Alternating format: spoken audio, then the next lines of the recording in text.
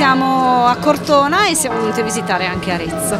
Abbiamo deciso di venire qua per vedere un pochettino com'era la zona che non avevamo mai visto.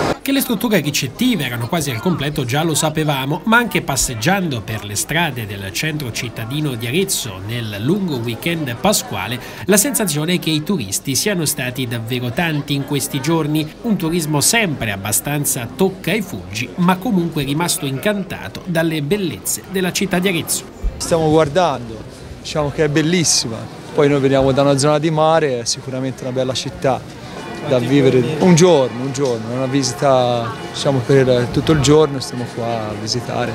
Più che altro perché è una città d'arte, Toscana mi piace un po' tutta, allora giustamente la location è molto bella. Da Caserta. Quanto rimane? Fine domani. Arezzo, che è bella Toscana e, e oggi andiamo verso la, andiamo, come si dice in Garfagnana, Casentino. Di Arezzo abbiamo appena visto il Duomo, San Lorenzo, adesso vediamo la via principale, e, ecco, insomma così, quindi siamo un po' di, di passaggio, abbiamo più cose da vedere.